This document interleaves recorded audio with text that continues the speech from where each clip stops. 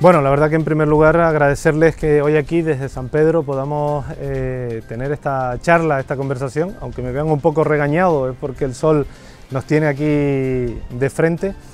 Nada, decirles que esta desescalada ha sido lo más participativa, lo más respetuosa posible y quiero felicitar a todos y cada uno de los realejeros, a todos y cada uno de nuestros vecinos porque fíjate que en situaciones tan complejas como por ejemplo abrir la playa del Socorro o, por ejemplo llevar a cabo eh, esa autorización a las cafeterías, hemos visto como en pocas ocasiones hemos tenido que actuar, así que mi agradecimiento a todos y cada uno de ellos y espero y deseo que no se pierdan las mañas, que se continúe con esa responsabilidad.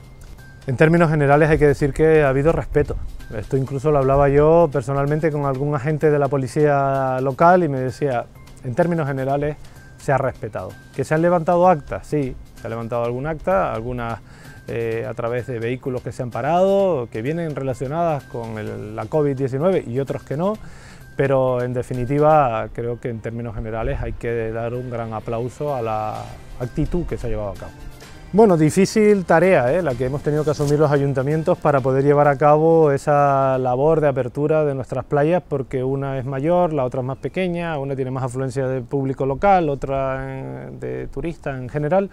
Ha sido una labor en la que hemos tenido que fajarnos todos y cada uno de los ayuntamientos. En esta ocasión la playa del Socorro estará aperturada en un horario determinado, en donde habrá una zona de entrada, una zona de salida, donde no tendremos acotado espacios eh, delimitados, donde sí pedimos la colaboración ciudadana, especialmente en esa franja de horario en la cual salen los mayores de 70 años, para que ellos puedan disfrutar también de la misma, y donde pedimos que se respeten las medidas de seguridad que todos conocemos, dos metros de distancia, que no hayan grupos al no ser que vivan en la misma unidad familiar, en el mismo domicilio, que no se hagan congregaciones en la orilla, que en definitiva eh, el uso, por ejemplo, de los aseos se haga también con el sumo respeto, tendremos un refuerzo para la limpieza del mismo y por otro lado pues tendremos también la vigilancia de los socorristas acompañados de protección civil, mucha información, mucha pedagogía, mucha eh, megafonía es la que le he pedido a los operarios de la misma que tengamos para que la gente sea consciente de cuál es la realidad y del buen uso de la misma. Sí, uso con responsabilidad, creo que hay que apelar a ese civismo, a esa comprensión de los ciudadanos y estoy convencido que va a salir bien. Es lo mismo que la apertura de los cementerios. La hemos hecho de tal manera que si hay un aforo determinado, en la playa no lo habrá, en donde eh, se entra a las horas puntas. Eh, en estos días que llevamos, viernes, sábado, lunes,